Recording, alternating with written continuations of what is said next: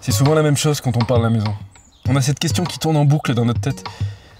Est-ce qu'on a bien fermé la porte de chez nous?